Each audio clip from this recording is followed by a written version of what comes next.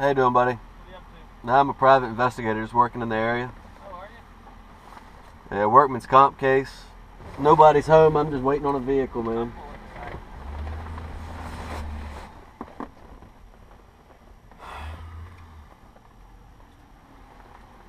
Waiting on somebody?